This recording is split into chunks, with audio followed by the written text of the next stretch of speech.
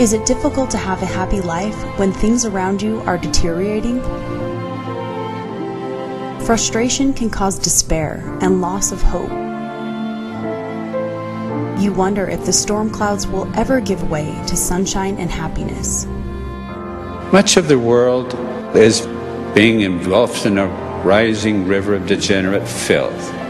With the abandonment of virtue, righteousness, personal integrity, traditional marriage, family life.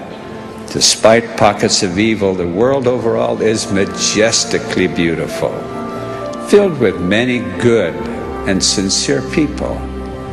God has provided a way to live in this world and not be contaminated by the degrading pressure spread throughout it.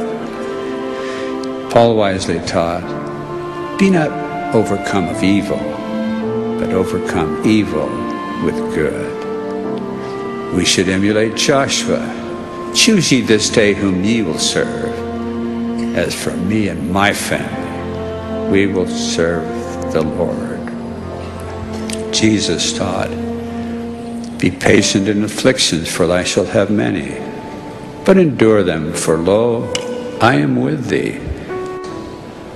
God's eternal purpose is for you to be successful in this mortal life no matter how wicked the world becomes. Finally, this pattern of success come into Christ and be perfected in Him.